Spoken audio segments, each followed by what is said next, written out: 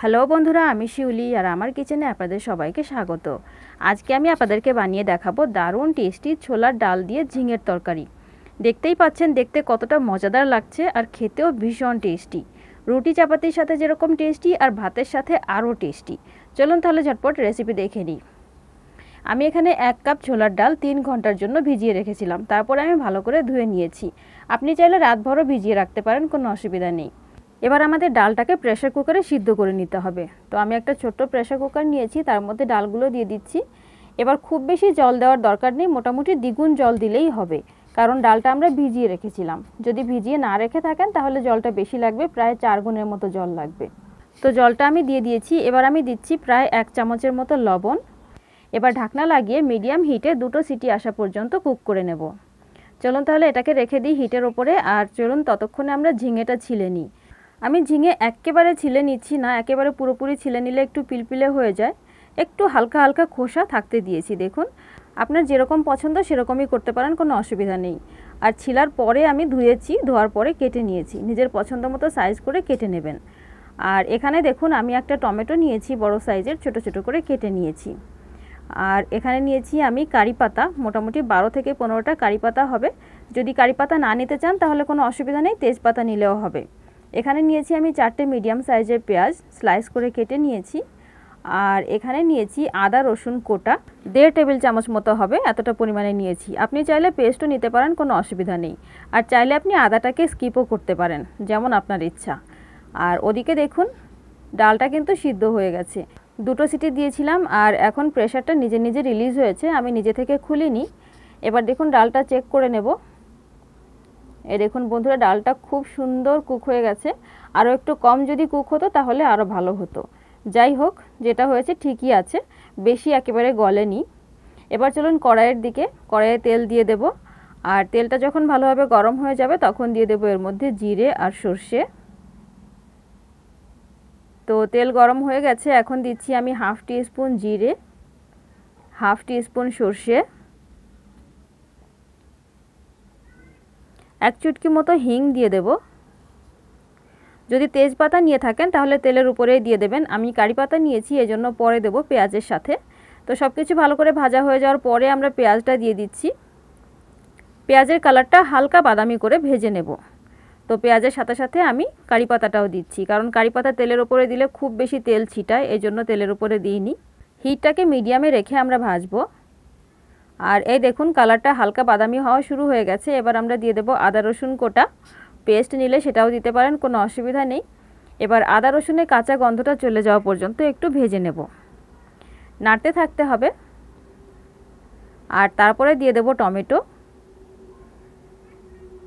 আর tomato দেওয়ার পরে আমরা লবণটাও দিয়ে দেব। লবণ দিলে টমেটো খুব তাড়াতাড়ি সফট হয়ে যায়।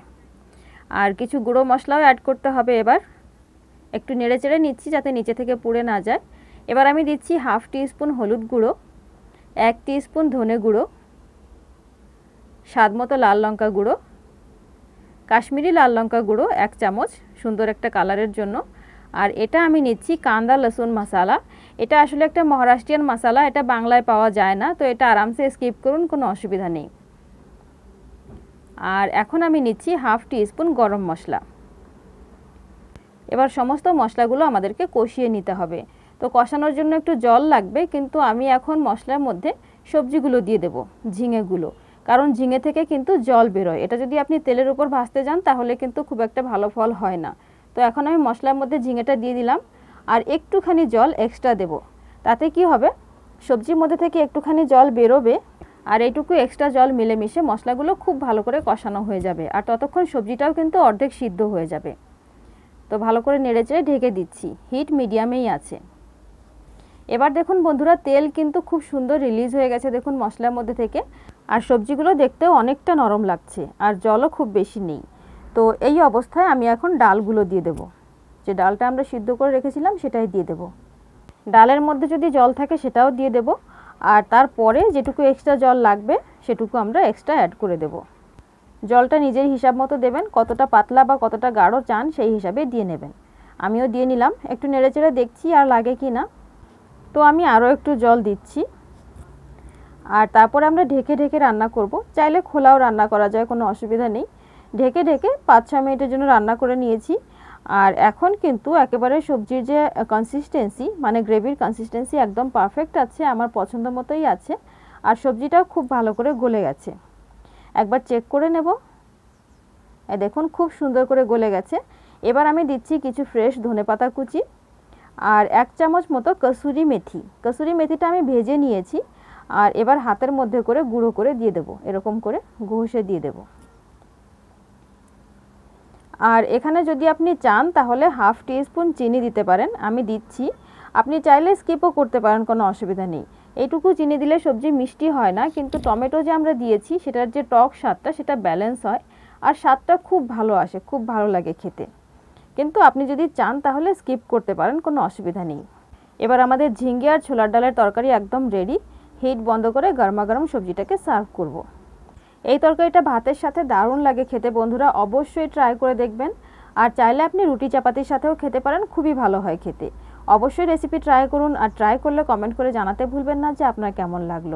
ভিডিও পছন্দ হলে অবশ্যই একটা লাইক করুন বন্ধুরা আর প্লিজ প্লিজ আমার চ্যানেলটাকে সাবস্ক্রাইব না করে একেবারেই যাবেন না। আর বেল আইকনকে অলে অবশ্যই প্রেস করবেন। Thank you so much for watching bye bye take care